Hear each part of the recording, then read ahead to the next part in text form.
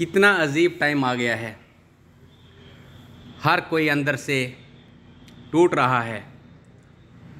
किसी ने फ़ोटो खिंचानी बंद कर दी और किसी ने अच्छे कपड़े पहनना बंद कर दिए।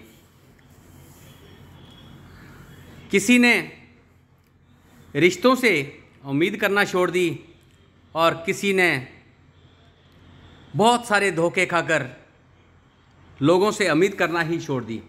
और किसी ने उम्मीद टूटते टूटते लोगों को देखते हुए अकेला ही रहने शुरू कर दिया। तो दोस्तों, और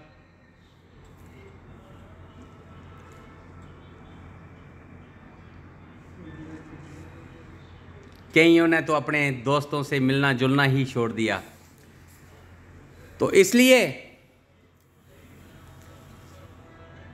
बड़ा अजीब टाइम आ गया है, बड़ा अजीब समय है।